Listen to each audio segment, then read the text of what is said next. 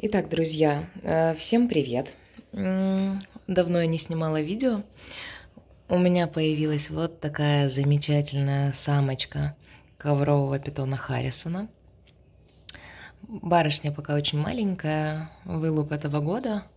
Вышла в августе, август 22 года. Пока еще пугливая, характерная. Вот э, мы с сыном решили назвать ее Алиса вот эту симпатяшку. И сейчас будет первое кормление, как она у меня.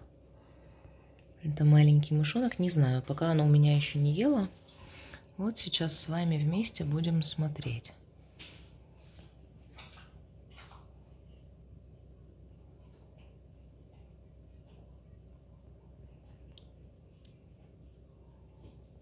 Неудобно немного кормить и снимать.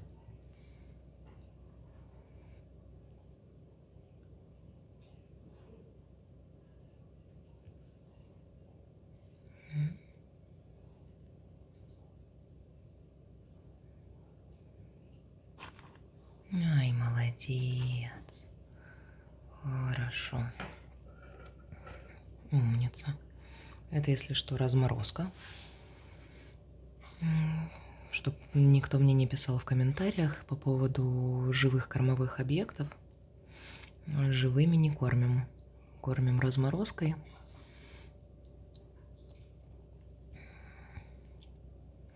Следующий раз буду снимать э, первое кормление, но это будет вообще, в принципе, ее первое кормление. Э, это тайваньский тонкохвостый полос Фризи, тоже самка. Она вылупилась вот э, поздняя ноябрьская, получается, или начало декабря. У меня записано, сейчас не вспомню. У меня тут коты пособирались, думают, что здесь что-то вкусное. Вот. И полос еще не ела вообще. Она еще даже не, у нее не прошла первая линька э, с момента вылупления. И я вот жду сейчас, пока она полиняет. Буду ее кормить. Это мадам тут ест отлично вроде. Дай бог, чтобы все съела нормально. И нормально переварила.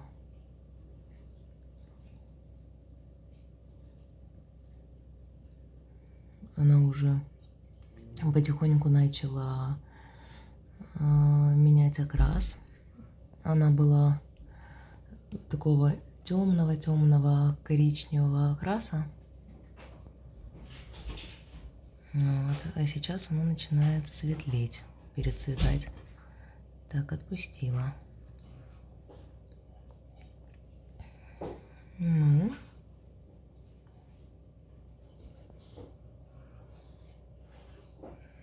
и чего-то отпустила.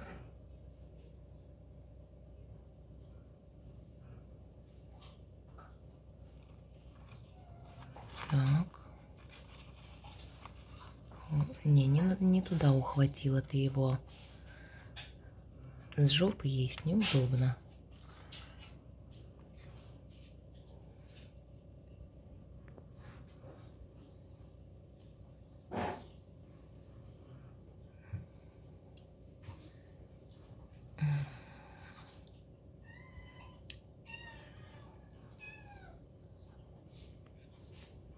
Надо, конечно, чтобы она его в идеале отпустила и начала есть с головы.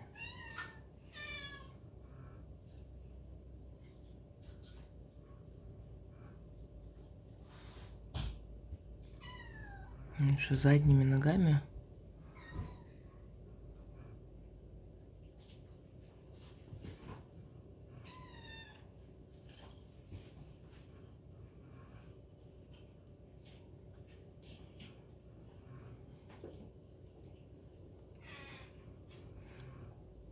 Хотя суточные мыши очень мягкие, у них очень мягкие хрящи еще. И даже если она его съест так, то должно быть все нормально.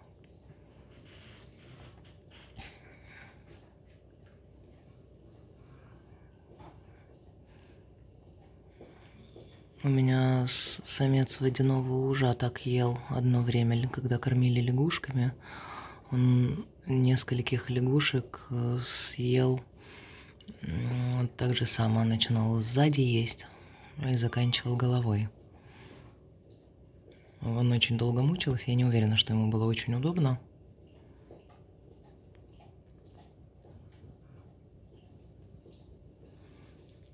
Видите, с головы у него что-то не получилось.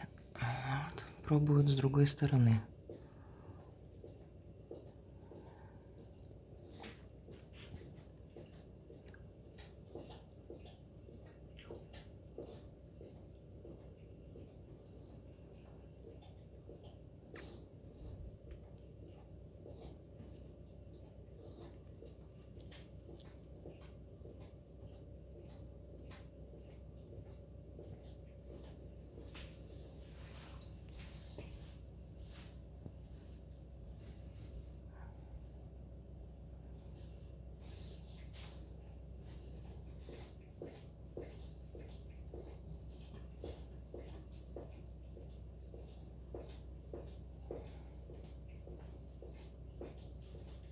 Бой. Здесь собака еще сидит, вымывается.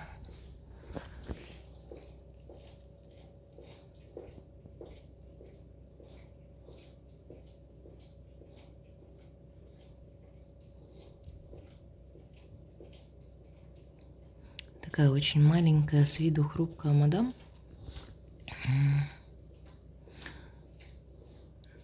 Ну, вроде ест с аппетитом и с очень дерзким характером.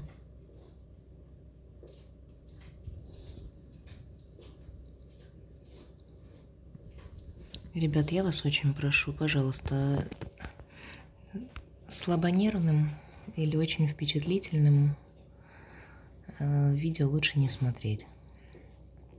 Лучше пролистните дальше и посмотрите что-нибудь другое.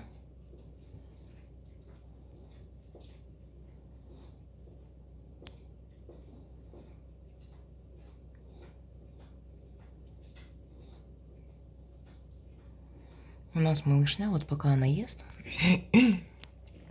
покажу вам. Так как она еще совсем мелкая, я еще планирую сюда в контейнер поставить веточку, а, так как ковры любят э, сидеть на ветках. Мы малышню содержим вот в таких контейнерах. Вот это контейнер. Вот у меня тут есть на 7 литров. В таком возрасте им этого объема с головой достаточно при таком размере. Чуть позже, конечно, по мере роста животного надо будет менять объемы и в итоге желательно для коврового питона закончить э, террариумом. Лучше не садить маленькую змею сразу в большой объем, потому что для змеи это очень большой стресс, и она может отказаться надолго от еды, может ничего не есть. А, и чтобы этого избежать, лучше объем увеличивать постепенно.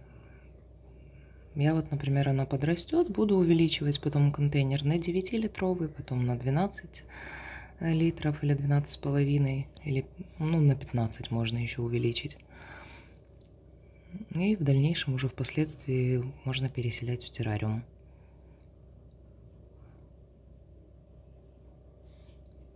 Ну, пока вроде хорошо справляется.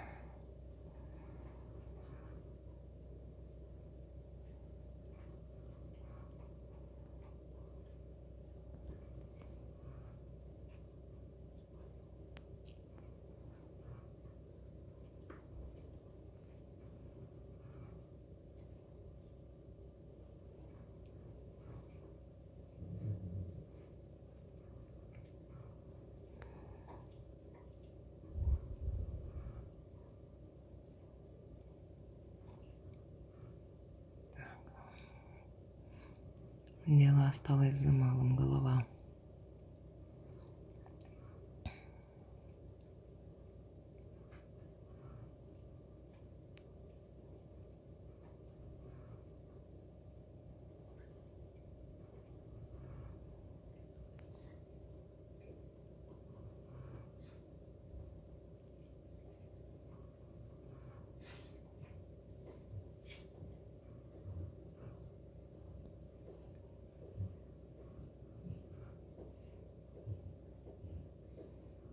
Замечательно. Сейчас полностью протолкнет и закончим на этом.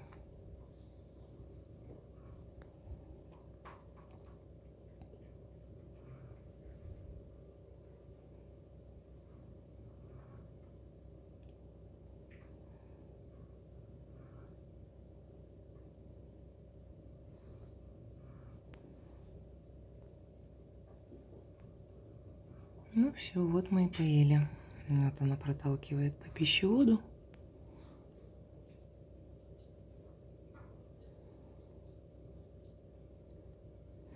Все, ребят, всем спасибо за просмотр.